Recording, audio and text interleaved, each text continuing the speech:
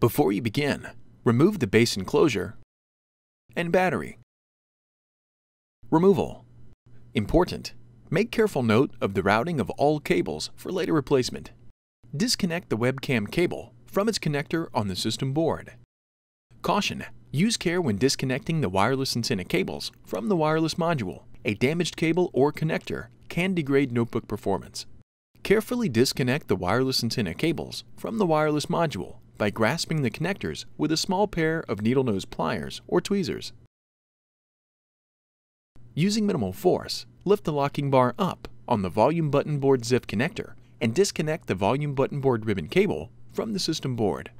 Using minimal force, lift the locking bar up on the fingerprint reader ZIF connector and disconnect the fingerprint reader ribbon cable from the system board. Using minimal force, lift the locking bar up on the keyboard ZIF connector and disconnect the keyboard ribbon cable from the system board.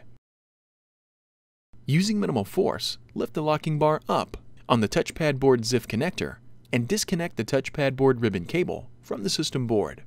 Using minimal force, lift the locking bar up on the keyboard light ZIF connector and disconnect the keyboard light ribbon cable from the system board. Using minimal force, lift the locking bar up on the NFC board ZIF connector and disconnect the NFC board ribbon cable from the system board. Disconnect the front speaker cable from its connector on the system board.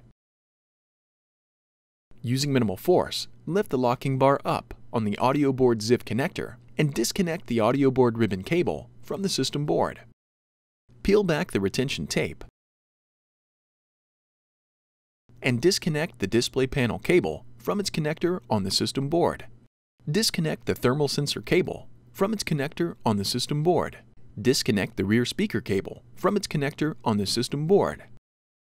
Remove the thermal sensor and rear speaker cables from the notch in the system board.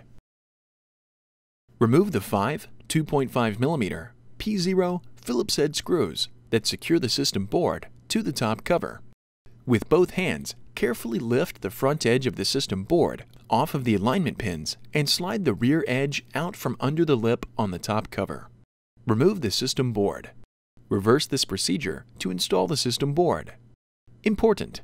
After system board replacement, be sure to complete post-installation tasks as required that may include verifying functionality of the notebook, updating the BIOS, updating DMI and other settings, calibrating the audio outputs,